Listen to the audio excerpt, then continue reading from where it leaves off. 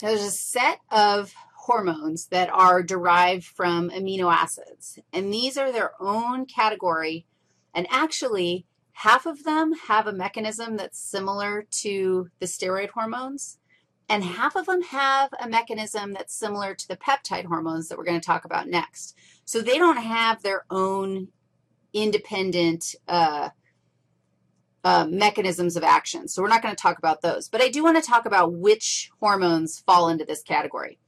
We have two primary amino acids that are the precursors or give rise to some specific hormones. One of them is tryptophan. Tryptophan is the one that erroneously, we've all been told, makes us fall asleep at Thanksgiving after we eat turkey. Apparently, this is not a true story. But tryptophan if it is modified, it can be used to produce melatonin, which is a hormone. Now, serotonin is also produced from tryptophan, but serotonin is a neurotransmitter.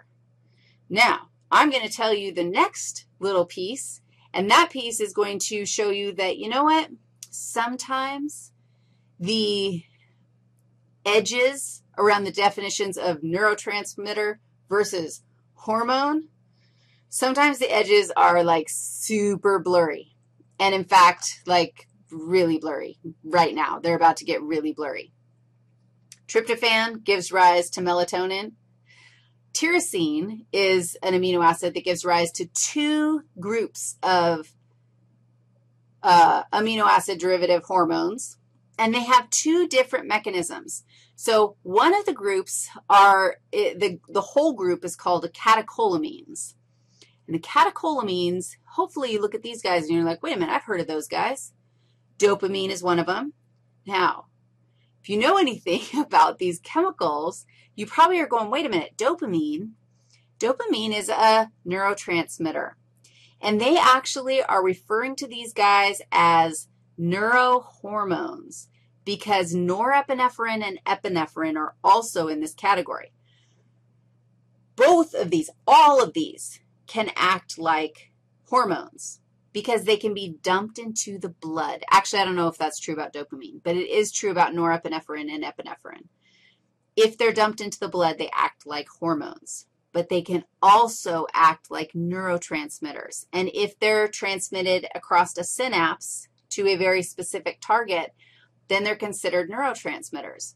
So technically, the catecholamines are, uh, I can do this, Technically, they are neurohormones. All right. Their mechanism of action is not the same as a steroid hormone. And you could actually think about that, and that would be a phenomenal essay question on an exam. Why? If you had to guess, if you had to argue and defend yourself, why, what, why wouldn't these guys have the mechanism of steroid hormones? Probably the first thing you should think of is, dude, steroid hormones are slow. And epinephrine and norepinephrine, remember, these guys are involved in a sympathetic nervous response. This is basically adrenaline. And uh, if their action was slow, you, my friend, would be eaten by the bear. That would be tragic. So that tells you right away that the mechanism of the peptide hormones that we're going to talk about next the mechanism is faster than the mechanism of the steroid hormones.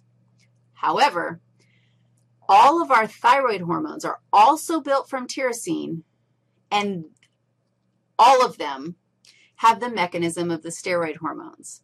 So a totally same precursor, but a totally different mechanism probably a good idea to remember both of those different categories. Now, let's look at our peptide hormones and learn about the mechanism of action for those guys and some characteristics that they have, and then consider again, why is it beneficial to have our adrenaline type substances act in that manner?